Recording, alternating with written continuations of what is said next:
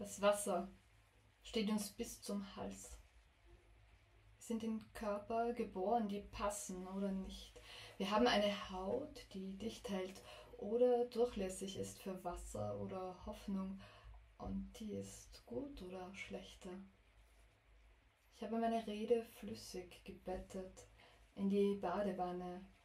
Das steht für Sammlung, Atmung, feuchte Luft, aber auch für das Ringen mit bedampften Spiegeln, die nichts von uns zeigen wollen.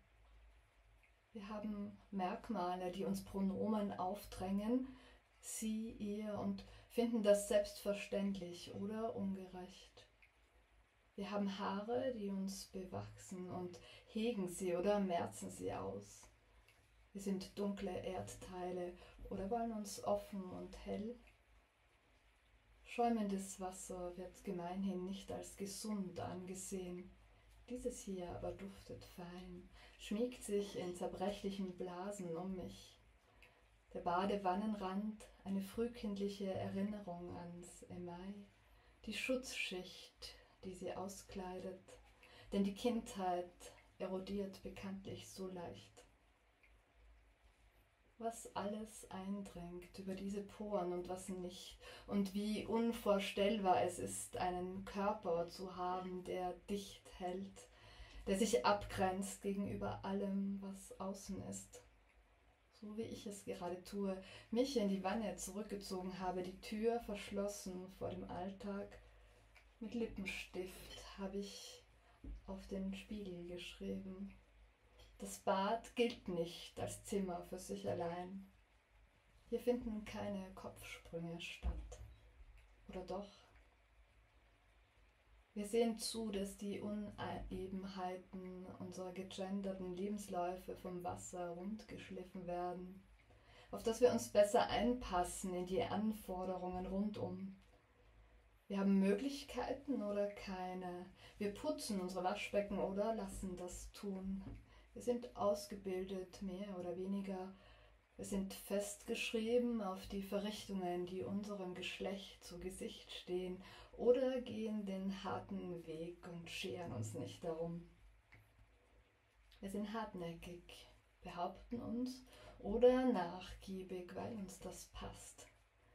Wir sind gesellig oder leben zurückgezogen, weil wir uns derart öfter begegnen. Wir sind sorgend und berechtigt. Wir sind alleinerziehend oder teilen die Sorge. Wir sind mitunter schlechte Mütter. Und das Wasser steht uns bis zum Hals, denn die Zeit ist nie richtig, um Kinder zu kriegen, um Karriere zu machen oder auch nur angemessene Honorarforderungen zu stellen, um auf eine Bühne zu treten, um sich von Ehrungen gemeint zu fühlen, ohne sich immer darauf vorzubereiten, notfalls schnell vor dem Rampenlicht abzutauchen, atemlos. Das Bleiben geschehe auf die Gefahr hin, gesehen zu werden als lebendiger Beweis angeführt zu werden, sollte das Getue um das schwache Geschlecht sich als Märchen herausstellen, das keiner Amme je gerecht wurde. Wir menstruieren und sprechen nicht davon. Oder wir bluten gepolsterte Stühle in Bankfilialen voll und schämen uns dafür nicht.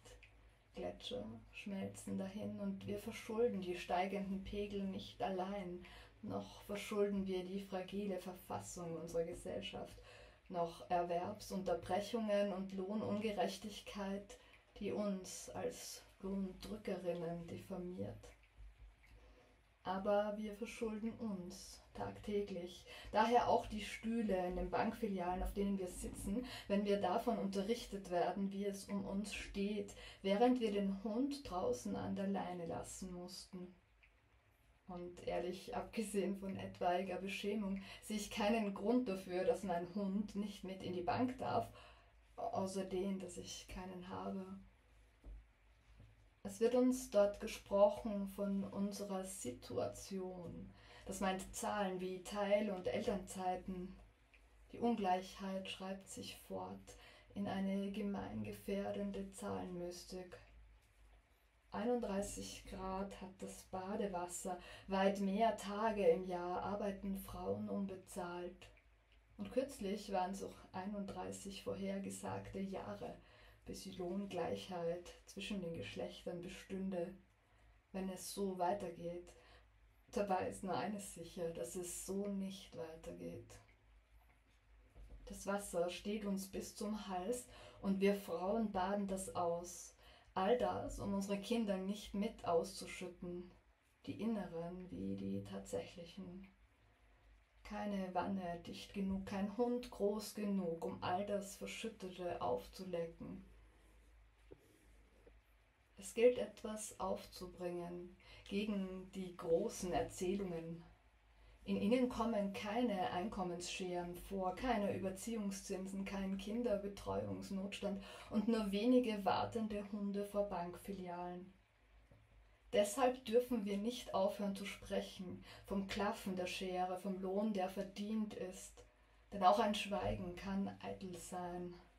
Und eine nicht gehaltene Rede, Rede kann den Triumph nicht übertünchen, der heute noch über unsere vermeintliche Schwäche empfunden wird. Früher sagten sie uns, wir dürften ja immerhin die schönen Dinge tun, in Süßwarenfabriken, in Webereien und müssten überdies nicht so viel kriegen, da wir weder Alkohol trinken noch rauchen würden.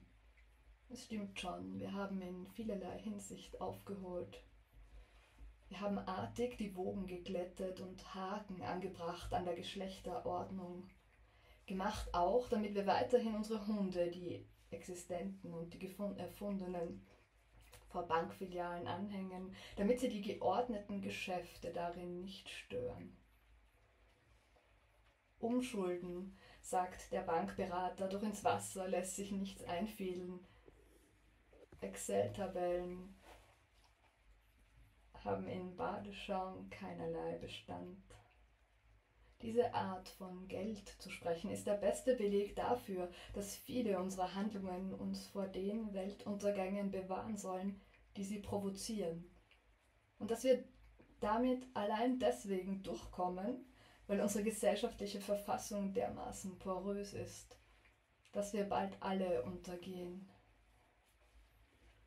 Das einzige Wir, von dem wir noch sprechen können, ist eines, das sich schuldig gemacht hat und es ist ganz einerlei, welchen Anteil wir Frauen daran haben. Wir müssen etwas tun, und zwar alle gemeinsam. Die verblüffende Ähnlichkeit der meisten anstehenden Aufgaben sollte uns mahnen. Wir müssen uns auf Wasserknappheit einstellen, eilig unsere desertierten Ideen begießen, auf das etwas daraus sprieße, das ein wenig mehr als ein bloßes Überleben wäre. Das Wasser steht uns Frauen bis zum Hals und dennoch ist eine nie richtig mit sich, außer vielleicht in der Badewanne, wo sie sich selbst versunken, bestens einstimmen kann aufs Versinken. Im Unterschied zu anderen kann ich immerhin in einer Badewanne liegen, in einem privaten Raum, der in diesem Moment mir gehört. Der Alltag wartet draußen vor der Tür wie ein Hund an der Leine vor der Bankfiliale. Es mag beschämend sein, selbst wenn ich sein Winseln nicht höre, mir nur vorstelle, wie Vorbeikommende ihn manchmal füttern oder streicheln. Doch nicht eine jede hat Sorgen dieser Güte. Eine manche hat überhaupt nur private, keine öffentlichen Räume, in denen sie sich frei bewegen darf. Auf Parkbänken liegen bei uns Frauen ausgestreckt und lesen in einem Buch. Es gibt Länder, heute noch Länder, wo ihr das nicht gestattet wäre, in der Öffentlichkeit zu liegen als Frau. Im Iran wird das geahndet. Und jetzt könnte ich sagen, aus meinem wohltemperierten Badewasser heraus sagen, dass das aber, na ja, dass das doch weit weg und was das mit uns und dass diese Frauen nicht nur keine Termine in Bankfilialen, sondern nicht einmal Hunde haben dürfen und es daher eindeutig nicht unsere Welt als ob das Wasser, das uns dort bis zum Hals steht, ein anderes wäre, als ob die Weltmeere nicht erdumspannend wären und ein steigender Pegel daher. Ich liege entspannt hier im Wasser warm und weiß, wo sich Narration und Wirklichkeit treffen. Da findet sich keine Ruhe, niemals. Ein Bad gilt nicht als Zimmer für sich allein, und doch sind unsere Probleme wie diese Verfilzungen, die das Wasser brauchen, um zu entstehen und die sich allein im Wasser wieder aufdröseln lassen. Wäre der Hund beim Gespräch der Bank an meiner Seite gewesen, es wäre anders verlaufen. Vielleicht hätte er den Bankberater gebissen oder zumindest sehr eindringlich angeschaut, um die starre Ordnung zu stören und meine Kontobewegungen zu verflüssigen. Sobald ich aus der Wanne gestiegen bin, werde ich beginnen mit einem flammenden Plädoyer für das Mitführen von Hunden in Bankfilialen. Denn das Wasser steht uns längst bis zum Hals.